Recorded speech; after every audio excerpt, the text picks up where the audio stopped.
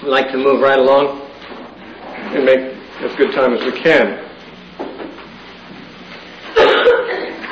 Chapter 5. Run to and fro through the streets of Jerusalem and see now and know and seek in her open places if you can find a man. If there is anyone who executes judgment, meaning justice, who seeks the truth, and I will pardon her. Notice, God's just looking for people who seek truth.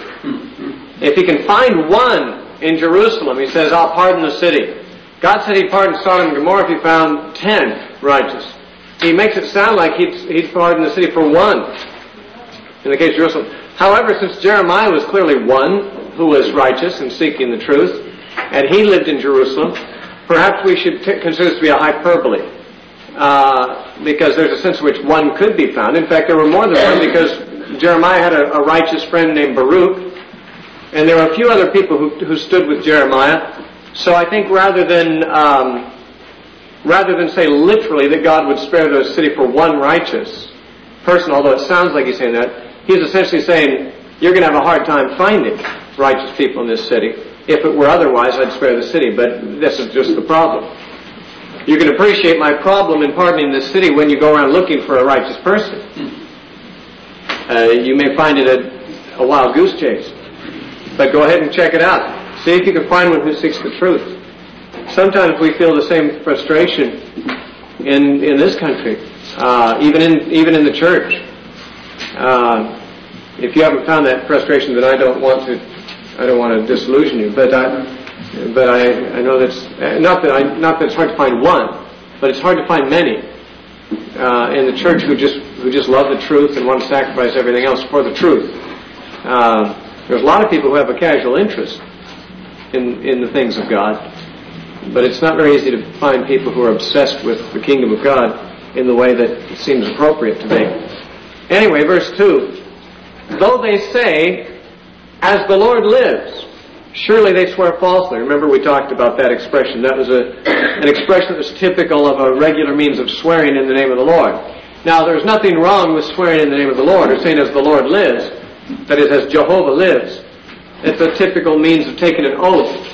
The problem is, though they, they swear in the name of God, they're not really God's people. They don't really have any right to bear His name. They're taking His name in vain. In fact, the command in the, the third commandment that says you shall not take the name of Jehovah your God in vain has a first application to this very issue of taking oaths and using the name, taking His name as a means of affirming your words when in fact it's an empty it's empty verbiage with you because you are not really living uh, in a way that, that qualifies you to use His name. Uh, and so that's essentially what's saying here. They're swearing falsely. They're bearing, uh, they're taking the name of the Lord in vain in their oaths. They, they have not, in other words, given up altogether the idea of worshiping Jehovah. They still talk like they believe in Him. They still use His name in their oaths, in their religious ceremonies and so forth. But He says it's all a show. These people are worshiping idols, but they haven't, you know, thrown out Jehovah altogether, at least not ostensibly. Though he accuses them of having done so. He accuses them of having forsaken him, the fountain of living waters, and gone out and hewn for themselves cisterns and broken cisterns that can hold no water. Yet, outwardly they haven't forsaken him. Outwardly they still use his name. They still have a pretense of being serving God, but the problem is in their hearts, it isn't so. Verse 3, O Lord, are not your eyes on the truth?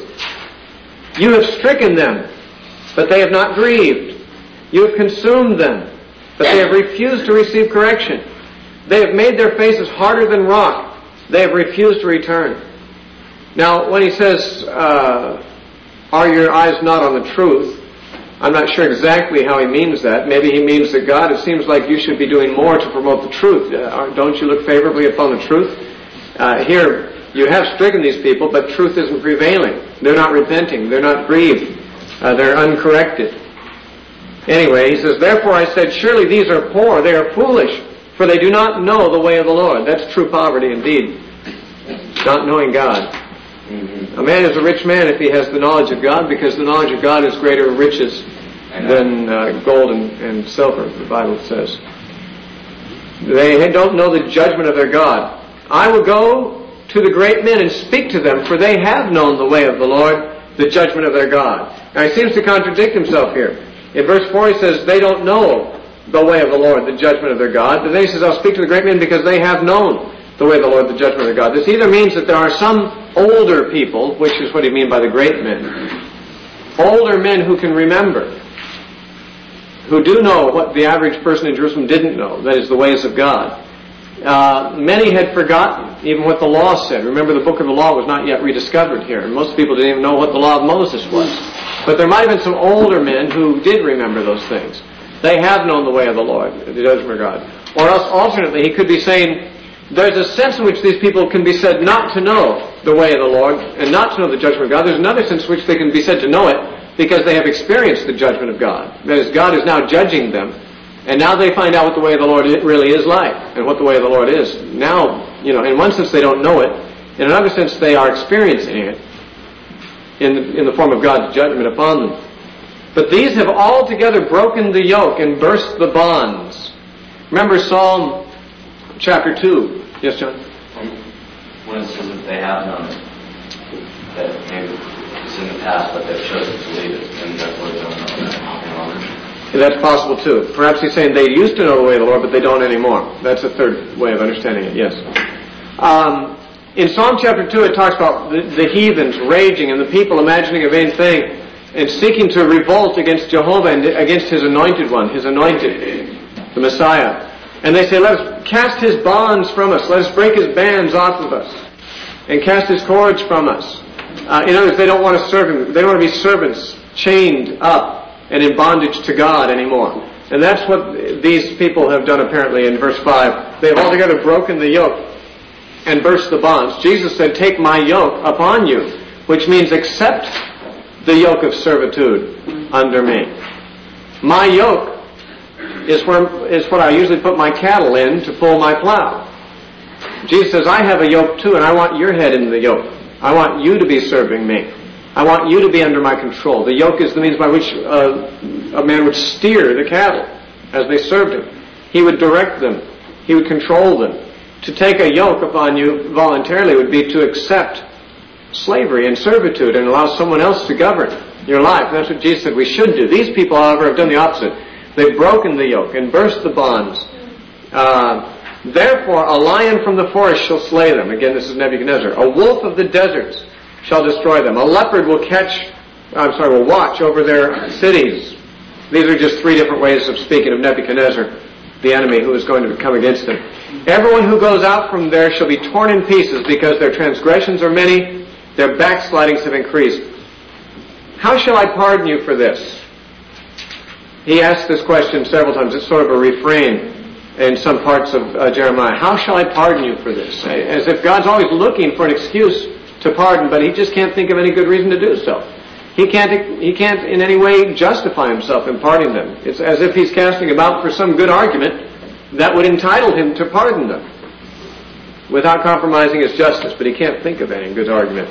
Your children have forsaken me and sworn by those that are no gods. When I had fed them to the full, then they committed adultery and assembled themselves like troops in the harlots' houses. They were like well-fed, lusty stallions. Everyone neighed after his neighbor's wife. Now, whereas in most of the references to adultery prior to this, it has been speaking about idolatry as a spiritual adultery. This case, I think, is talking about actual adultery on the part of citizens because it's not speaking of the nation as a woman going after other gods, other men, but rather it's talking about their, the children of Israel. Your children have forsaken me. So it's talking about their individual sins of adultery. And rather than casting Israel in the role of, a, of an adulterous wife, he talks about the men of Israel, how that they have gone after other men's wives. So, in addition to the spiritual adultery, he accuses them of actual adultery as well. And that in spite of the fact that God had treated them well. He fed them to the full. He blessed them, He protected them, He prospered them, and the gratitude they show for His benefit is to rebel against His laws and to go out and commit adultery. They just, you know, when people are prosperous, they begin to think of prosperity as their, as their right. Uh, and a lot of times, if you're self-indulgent, or if your lusts are satisfied in one area of life, where you might think, well, that that should placate my lusts because I, you know, I've, they've been satisfied in this respect. The opposite effect is true. When you make provision for the flesh, the flesh just exerts itself any way it can. You know, you give the flesh a little bit of uh, control, you satisfy your flesh in one area, and it just decides that it, it has the right to have all of its desires satisfied. When you get when you're self-indulgent and you're eating and you're fed to the full, that's not the time when you can say, well, my flesh should be satisfied now. I probably won't have any problem with lust. The opposite is true. When you're most, you know, when, when you've indulged your flesh the most in one area is when the flesh is bound to say, okay, now that appetite's satisfied, let's go after this other one. You know, and the flesh is just affirmed in areas. And that's why fasting, although it is not prescribed in the Bible as a means of disciplining the flesh, yet often it has the effect of quieting the lusts temporarily. Uh, now, you may not find this to be true, but I, uh, I can say that I have, and I think I've heard others testify the same, that when I'm not feeding my body food, its other desires often are, are less uh, demanding as well.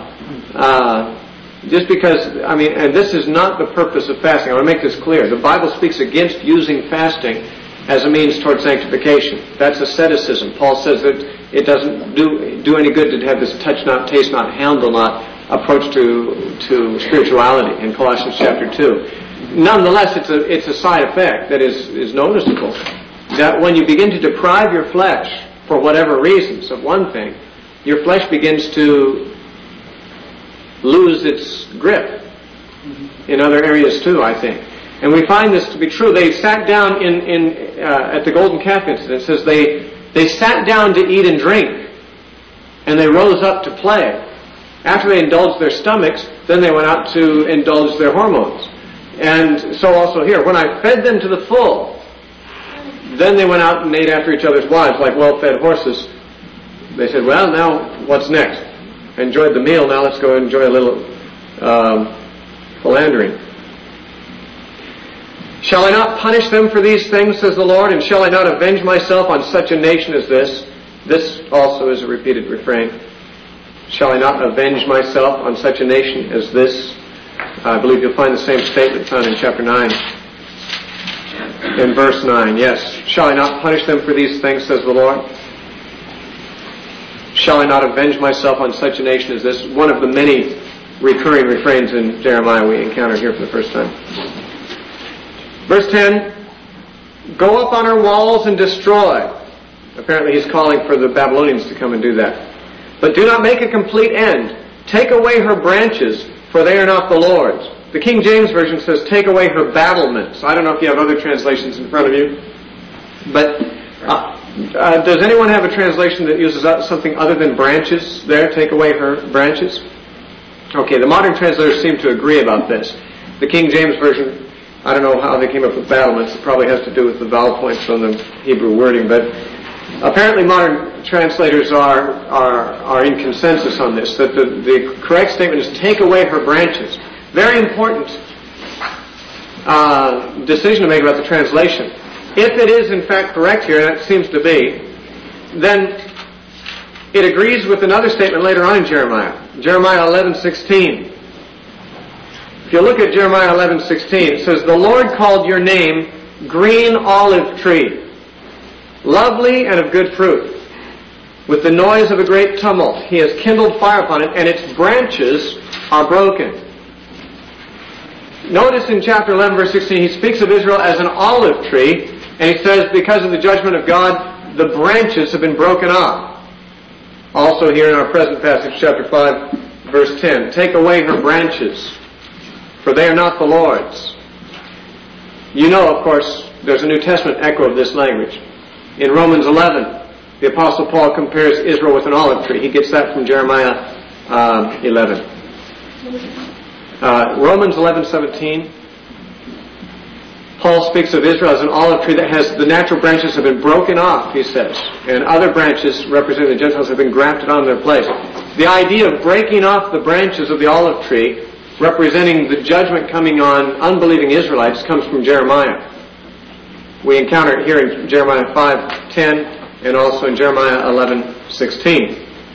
And Paul picks up the idea in Romans 11 and speaks of Israel the same way. Only, of course, what he's talking about is an ultimate wrath. An ultimate judgment has come upon them because of their rejection of the Messiah. The branches that were not believing were broken off. And they were replaced by Gentile branches that did believe. That's how Paul argues his case in Romans 11. He gets his language from this passage. Okay, Jeremiah 5:11. For the house of Israel and the house of Judah have dealt very treacherously with me, says the Lord. They have lied about the Lord and said, It is not He.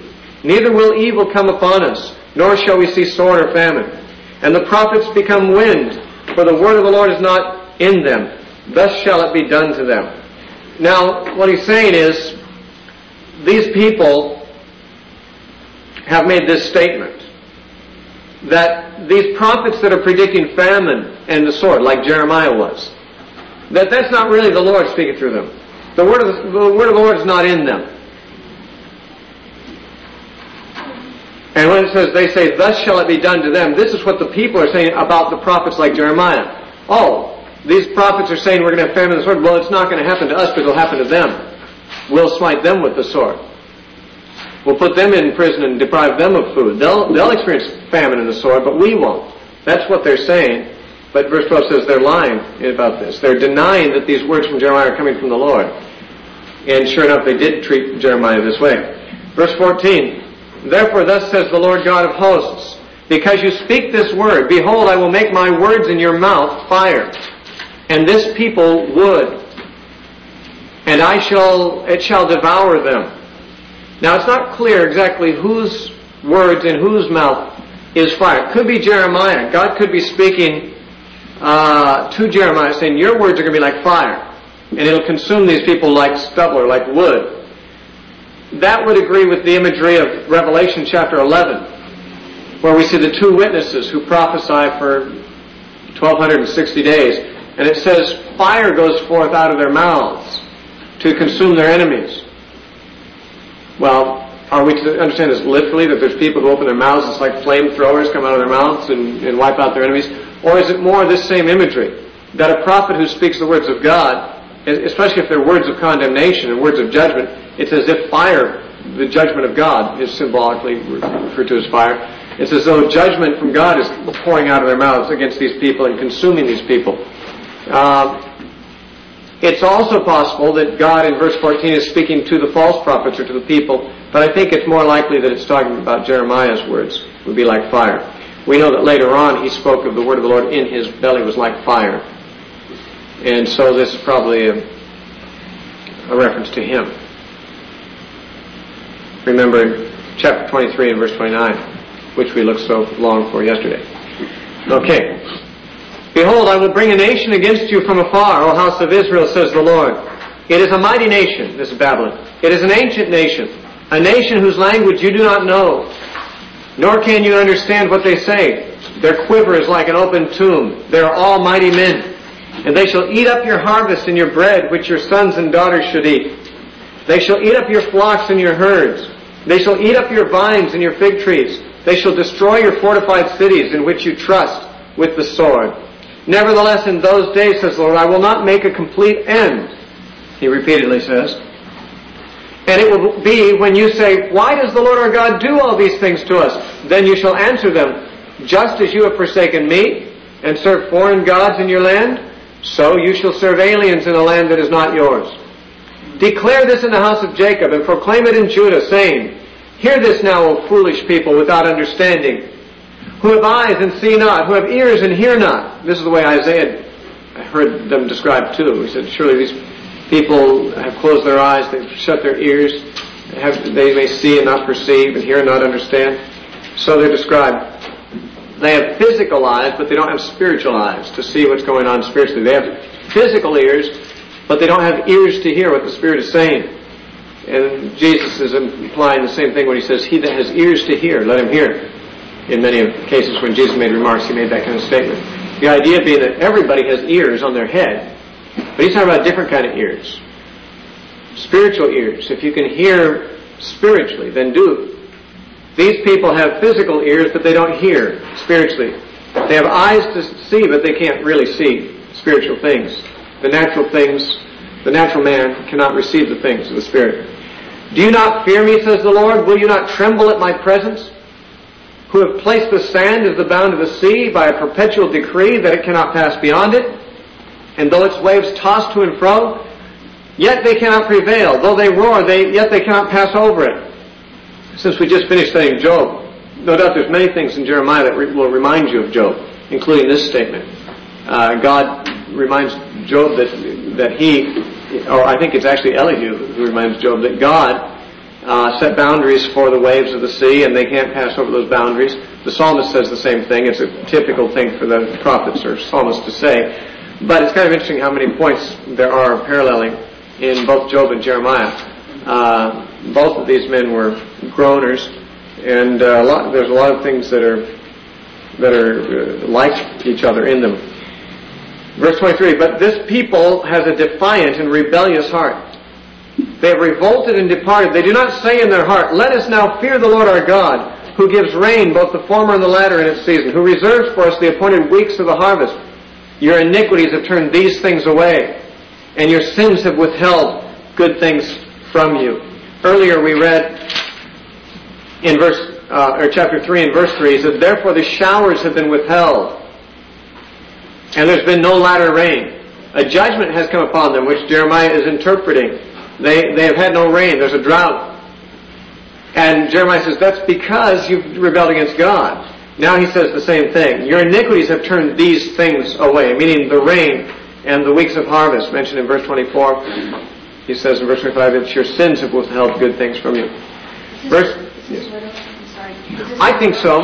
I think so, because Deuteronomy predicted the literal cessation of rain as a judgment, as one of the many judgments he said would come upon them if they uh, if they rejected the word of the Lord. And uh, you know, while of course we could we could spiritualize the latter rain, I think it's more like that he's talking about the actual the actual uh, famine and actual drought that they were experiencing. Verse 26. For among my people are not are found wicked men. They lie in wait as one who sets snares. They set a trap, they catch men. As a cage is full of birds, so their houses are full of deceit. Therefore they have become great and grown rich in dishonest gain, that is, through deceit and so forth. They have grown fat, they're sleek. Yes, they surpass the deeds of the wicked. They do not plead the cause, the cause of the fatherless. Apparently he's talking especially about the judges who should be defending the cause of the innocent and the helpless. Yet they prosper, and the right of the needy they do not defend. Shall I not punish them for these things, says the Lord? Shall I not avenge myself on such a nation as this? That refrain we found in chapter 5, verse 9, also in chapter 9, verse 9. Here it is again. Um, that refrain. Shall I not punish them for these things? Shall I not avenge myself on such a nation as this? Verse 30, An astonishing and horrible thing has been committed in the land. The prophets prophesy falsely. The priests rule by their own power. And my people love to have it so. It's a bad enough thing when the leaders are corrupt, but when the people enjoy having corrupt leaders, it's worse yet. If the people revolt against corrupt leaders, at least there's hope that things may get better. But if the people prefer that kind of leadership, prefer to be oppressed by people who rule by their own power, uh, then what, what hope is there? Of course, there have been periodically in church history times where this was true in the church. Even even now, in some churches, um, church politics and church power struggles uh, dominate the clergy, and people rule by carnal power, and uh, and often people just they they like that. They like I mean not so much that they like power trips. A lot of people like to just not not make decisions for themselves let someone else rule, and it kind of re- relieves them of responsibility for their own moral choices. And uh, people love to have it that way sometimes. Even if the prophets are prophesying falsely, you know, in a, in, in a church I was once in, which was into the shepherding movement, one of the elders told me, you know, if if an elder tells you to do something that you're not that you don't think you should do, do it anyway, and the responsibility will fall on him, not on you. Well, wouldn't that be nice? If I was relieved of all obligation to make moral judgments about anything, I just do what I'm told, unquestioning, and I'm not responsible for anything I do wrong. Because the guy who told me to do it is responsible. No, the Bible doesn't say that's true, but some people love that kind of an arrangement. I mean, let the prophets prophesy falsely. What do I care? As long as I'm not responsible, I'll, I'll have it that way. Uh, I don't care if they're right or wrong, just so I'm not responsible for the mistakes they make. And uh, so there is some of this, even in our own day. But what will they do in the end? He says at the end of verse of chapter five. Now, chapter six. O you children of Benjamin, gather yourselves to flee from the midst of Jerusalem. The city of Jerusalem was half on the territory of Benjamin and half on the territory of Judah. And you remember when the nation split into two nations, Benjamin remained loyal to Judah, so the Benjamites were still a, a, a regular, uh, you know, por- a portion of the population of that nation. And Jerusalem had uh, a lot of Benjamites in it because it was half positioned on Benjamite territory. So he says to the children of Benjamin, Gather yourselves to flee from the midst of Jerusalem. Blow the trumpet in Tekoa. And set up a signal fire in Beth Hakkerem. For disaster appears out of the north and great destruction. I have likened the daughter of Zion to a lovely and delicate woman. Well, we can see that in many passages he's done that. He's, he's used the imagery of a woman. A lovely woman whom a lot of men want to seduce. Uh, he's likened Israel to that because uh, she has been seduced and even is actively seducing uh, other religions, other other gods, other men, as it were, in the imagery he uses. The shepherds with their flocks shall come to her. They shall pitch their tents against her all around. Each one shall pasture in his own place. Prepare war against her. Arise and let us go up at noon. Woe to us, for the day goes away, for the shadows of the evening are lengthening. Arise and let us go by night and let us destroy her palaces. Now, apparently these are the words of the invaders speaking. They're called shepherds with their flocks, meaning invaders with their armies, are encamping around the city just like shepherds and their flocks do in times of peace. Well, now those shepherds and their flocks, who are usually around the city, have been replaced by commanding generals and their armies besieging the city. And their words are recorded in verses 4 and 5. Uh, they say, let's go up against her. And they even bemoan the fact that the end of the day is drawing near because they want more time to attack. Uh, they don't want to rest. They don't want a night to go to sleep. They want to just keep fighting. He's just speaking of their militant and aggressive and hostile attitude, how that they want to incessantly destroy and attack. And even when the, they say, even when the evening comes, they just figure, well, we'll just keep fighting at night. Verse 5 says, Arise, let us go by night uh, and destroy her palaces. Verse 6, For thus has the Lord of hosts said, Hew down trees and build a mound against Jerusalem. These are talking about siege works that were built by uh, besieging armies. They would cut down the surrounding trees and build ladders and platforms and so forth to try to get over the walls and build up mounds so they could get up over the walls. So God's sort of speaking to the Babylonians here. Hew down trees and build a mound against Jerusalem. This is a city to be punished. She is full of oppression in her midst. As a fountain wells up with water, so she wells up with her wickedness. Violence and plundering are heard in her. Before me continually are grief and wounds. Be instructed, O Jerusalem, lest my soul depart from you, lest I make you desolate, a land not inhabited. Thus says the Lord of hosts, they shall strongly glean, I'm sorry, th- thoroughly glean, as a vine the remnant of Israel, as a great gatherer Put your hand back into the branches. Uh, thoroughly gleaning means they'll leave nothing behind. Usually when a harvest takes place, the harvesters go through and grab the big clusters of grapes and stuff, but a few, a few, you know, lesser clusters that weren't worthy of their attention will be left behind, and the gleanings, as they were called, that is what's left after the harvest, after the general harvest, was usually left for the poor. And in fact, the law forbade the Jews to go back and glean their own vineyards and their own fields. They were supposed to leave the gleanings for the poor. It was okay to go through and do a, a you know a thorough harvest, but whatever was left behind after the first uh, pass through was to be left. However, these people who are harvesting the vineyard, Israel is here compared with the vineyard as elsewhere, in Isaiah particularly, and the vine, these great gatherers, these Nebuchadnezzar, will leave nothing behind. They won't just harvest, they'll glean uh, everything. To whom shall I speak and give warning that they may hear? Indeed, their ear is uncircumcised. They cannot give heed. Behold, the word of the Lord is a reproach to them. They have no delight in it. Some people's hearts are uncircumcised, we were told earlier. Now we hear their ear is uncircumcised. Their ear is incapable, not of hearing, but of hearkening. Uh, they cannot give heed. They can hear his words, but they are incapable of responding. Their heart is too committed to evil. The word of God is just something that annoys them. It's a reproach to them. They have no denied in it. They just soon be ignorant of, of these warnings. Therefore I'm full of fury of the Lord. I'm weary of holding it in. I will pour it out on the children outside, on the assembly of the young men together. For even the husband shall be taken with the wife, and the aged with him who is full of days.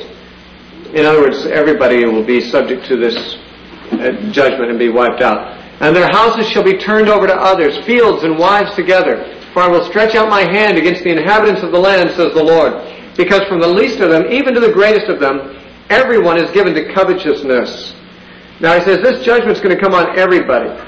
But nobody's necessarily going to be sinning, uh, uh, suffering for someone else's sins. Everybody deserves it. From the least of them to the greatest of them, they're all given over to covetousness. Jesus said in Luke chapter 12, take heed and beware of covetousness. Paul said in 1 Timothy chapter 6, the love of money, another term for covetousness, is the root of all kinds of evil, which some, seeking after, have pierced their, themselves through with many sorrows. And so, covetousness is something that is the root of all evil. It's interesting that the last of the Ten Commandments is, you shall not covet. And there's a sense in which it covers all the others, because every one of the other nine Ten Commandments has been broken at one time or another out of covetousness. Covetousness is the motive that underlies much sin of every kind. People have murdered for the love of money, taken a contract on someone, or murdering someone to possess their vineyard, or whatever. Like Nabal's vineyard was taken that way out of covetousness. He was murdered by Jezebel. Uh, people have committed adultery for money, for love of money. I mean, harlotry, prostitution. Uh, you can count on it. Women who are prostitutes not doing it because they love sex. They do it for the money. People who pander pornography and produce it are not doing it because they love pornography. They're doing it because they know someone else loves it and will buy it. They do it for the love of money. If there's no love of money, there'd be no pornography industry. Uh, every kind of evil has at one time or another, and, and even to this day, been uh, committed for the love of money. Theft, thou shalt not steal, has been violated for that. Bearing false witness in court, uh, a judge taking a bribe out of the love of money perverts judgment in court. There's a lot of, uh, I mean, covetousness is not a little thing. And the interesting thing is, though Jesus said, beware of covetousness, let me tell you something. There's only two sins that Jesus said to beware of. If you look at all the times Jesus said beware, he'll say things like, beware of uh, men, for they shall turn you over to the synagogues and so forth. But that's not the same thing as beware of a sin. That's beware of sinners. But of particular vices that Christians are told to beware of, there's two, Jesus said. He said, beware of the leaven of the scribes and Pharisees, which is hypocrisy. And then that, that's in Luke chapter 12. And later in the same chapter he says, beware of covetousness. Two vices Jesus specifically says, beware of. Now why do you say beware? But to warn someone of a hidden danger. You don't have to tell people to beware if you think that they, are, they already see the danger. Uh, it's, it's of something where you see a danger and you're afraid they don't. And so you give them warning. Beware. Watch out. And Jesus never said beware of drunkenness or beware of adultery or beware of murder. Why? Because everybody can see the danger of those things. I mean, it's not likely that any Christian is going to be living in adultery or, or as a murderer or a thief and still think he's doing something that's make, that he's still a good Christian. I mean, Christians may do those things, but they don't mistake those for Christian behavior. But covetousness and hypocrisy are very common vices among Christian people who don't even know that they're doing something really wrong. They don't recognize them for the vice that they are. And hypocrisy and covetousness are very rampant in religious circles. They were in biblical times, they are in modern times. And yet Jesus spoke against covetousness probably as much as any other sin. And he told us to beware of it because it's sneaky. The cares of this world, the deceitfulness of riches, love of money, covetousness, these are the things that, like thorns, grow up to choke out the seed. very subtly. And uh, so here, everybody's given over to covetousness, and that's one reason why they're all going to be wiped out, he says in verse 13. Everyone is given to covetousness, and from the prophet even to the priest, everyone deals falsely. They have also healed the hurt of my people slightly, saying, Peace, peace, when there is no peace. Were they ashamed when they had committed abomination? No. They were not at all ashamed, nor did they know how to blush. They've lost all conscience. They're not, they don't even know how to be embarrassed with their sins anymore. They're reprobate. Therefore they shall fall among those who fall at the time when I punish them and be cast down, says the Lord. By the way, this uh, statement here, they have healed the hurt of my people slightly, is a repeated refrain also, and the words that follow it. Over in Jeremiah 8, you'll find it.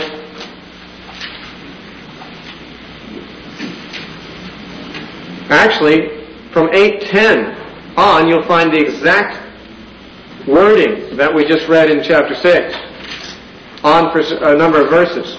In the middle of Jeremiah 8, 10, it says, Because from the least even to the greatest, everyone is given to covetousness. From the prophet even to the priest, everyone deals falsely. They have healed the hurt of my daughter, the daughter of my people slightly, saying, Peace, peace, when there is no peace. Were they ashamed when they committed abomination? No, they were not at all ashamed, nor did they know how to blush. Therefore they shall fall among those who fall. In the time of their punishment they shall be cast down, says the Lord. Notice that's identical to the passage we just read. Some of these repeated refrains in, in Jeremiah are several verses long. Some of them are just a single line. But when it says, they have healed the hurt of my of the daughter of my people slightly, saying peace, peace when there is no peace, that's an interesting statement. It's like the people are hurting spiritually. They're sick spiritually. They need a physician. But all that the false prophets do is try to take the pain away, saying peace, peace. You know, don't be afraid. Everything's going to be okay. But that's not true. Instead of healing people by telling them the truth, hey, you need to repent, they just try to tell them, well, everything's going to be okay. Everything's going to be rosy. And, and they take the pain or the sensitivity to their sinfulness away. The awareness that they stand to be judged is what, is what could possibly lead them to repentance. And it's better to keep them in pain so that they'll keep seeking the real cure rather than to heal them slightly. That is just to remove the pain, the symptoms. Uh, my grandfather was kind of an eccentric fellow. He was, a, he was a Christian man, but he was very different. There's some things he never did. For instance, he never thought toothbrushes were good for people's teeth, so he never got one. And uh, he would never wear sunglasses because he thought sunglasses were probably bad for the eyes. These innovations that came up during his lifetime, he just some of them he just suspected they weren't very good for you. He also would never take aspirin. Uh, not because he was, you know, a, a, word of faith person who felt like, you know, you just got to confess your healing and it's wrong to take medicine. That, that was far from it. His rationale was, well, if you've got a headache, it's because something's wrong. If you take an aspirin, it won't make that thing right. It'll just take the pain away, so you won't know that something's wrong. And uh, so he resisted uh, anesthesia and so forth and painkillers because he thought, well, that's just. I, I, don't know when he was under surgery whether he did, but uh, but he felt like you're just living in a fool's paradise if you just try to make the pain go away, when really that pain he felt was God's way of telling you something's wrong that needs attention. Maybe you've got too much stress in your life. Maybe there's, you know, high blood pressure. Maybe there's something else. Um, maybe you use, you drink too much coffee or something. I mean, but but a headache is symptomatic that something else is wrong. And he felt that just to take aspirin to make the pain go away heals the hurt slightly. It makes you think that everything's okay when it isn't. It's like saying peace, peace, but there really isn't any peace. There's something really wrong inside, and you're just trying to mask it with with relief. And uh, well, I don't know that I'd agree with him that it's wrong to take aspirin or anything like that. It wasn't a moral issue with him. He just thought it wasn't wise. But it's, it's a rather an illustration of this in the spiritual sense. If people's conscience is hurting them, we shouldn't try to counsel them saying, well, you know, you're not really that that bad, you know. Don't feel so guilty. You know, it's very probable that if their conscience is bothering them, then they are guilty of something, and it'd be better to heal and go to the core of the problem say, no, listen, the reason you got problems here is because you've rebelled against God and you need to repent. But, you know, some people just pity the counselees so much that they just try to make them feel better. When really there's some radical surgery that's needed. They heal them slightly and tell them everything's okay, but it isn't. It's better to go ahead and and uh, and tell them what they maybe don't want to hear. Surgery can be painful, but at least it's permanent and it's not deceptive. And so these false prophets, and saying, "Listen, God's God's pleased with you." You see, actually, what the false prophets were saying, we find out later in chapter seven, was that there's no danger of judgment coming on Jerusalem because the temple of the Lord is here. And to them, the temple of the Lord was sort of like a good luck charm. A little bit like the, the Ark of the Covenant had been in the days of Eli. When Phineas and Hophni took the Ark of the Covenant out against the Philistines, and they thought, wow, this will save us now. They, they kind of looked at the Ark of the Covenant as a, as a good luck charm. Well, in Jeremiah's day, people looked at the temple that way. They said, hey, you know, when Assyria came and wiped out all of Judea, they even came against Jerusalem, but don't you remember the angel of the Lord went out and slew 185,000 Syrians and defended Jerusalem. They began to feel like they were invulnerable. That God was miraculously always going to save Jerusalem because His temple is there. And they began to trust in the temple as uh, a defense. And the false prophets were saying, because the temple is here, there is no danger. And so they were, they were contradicting Jeremiah and, and other prophets like him who were saying God's going to wipe out the temple. He's going to wipe out you guys. He's going to take you all into captivity. You're going to be slain by the edge of the sword. And they're saying, nah. Don't you know? The temple of the Lord is here. See, if you look just for a moment over chapter 7, we can see that he has to address that. In chapter 7, verse 4, God says, Do not trust in these lying words which say, the temple of the Lord, the temple of the Lord, the temple of the Lord are these. For if you thoroughly amend your ways and your doings, if you thoroughly execute judgment between a man and his neighbor, if you do not oppress the stranger and the fatherless and the widow, and do not shed innocent blood in this place, or after other gods, go after, walk after other gods you hurt, then I will cause you to dwell in this place. You know, it's just the fact that the temples here isn't going to cause you to be able to dwell here securely. You have to amend your ways to dwell here securely. The temple won't save you if you're shedding innocent blood and walking after other gods and oppressing the stranger and the fatherless. So you can see that the mentality of the false words the false prophets were giving was that, don't worry, nothing can hurt us while the temple's here. Because this is God's temple. He'll defend the city. Don't listen to these prophets who say judgment is coming. It's, it's all a false threat. And Jeremiah says, no, these are the false prophets who are offering security and complacency and saying peace, peace. When they're not in touch with reality, there really is no peace. There's judgment coming. And they're healing the hurt of my people slightly. Better for them to feel their headache so that they wonder what's wrong with me. Maybe I need to change my lifestyle. Maybe I need to drink less coffee. Maybe I need to do something to reduce my blood pressure because I'm getting headaches. You know, maybe I have a brain tumor, you know, that needs radical surgery. An aspirin can just mask a deeper problem. And Jeremiah said, you need to address the deeper problem. Not have a slight healing that just kind of takes the symptoms away, uh, the pain away. If these people are told that judgment is coming and, and the fear of God is in them, maybe they'll repent. Maybe they'll actually get cured. However, this slight healing, this, this, this pain removal, this pain suppression that the false prophets are giving by saying it's, everything's okay, is hurting the people more than it's helping them, he says. It's made them so they don't blush at their sins. They don't feel any shame. Their conscience is numbed. Verse 16.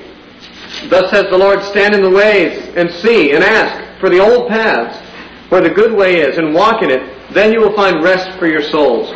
Jesus used the same expression, you will find rest for your souls, in Matthew 11:29 when he said, "Come unto me, all you who labor and are heavy laden, and I will give you rest."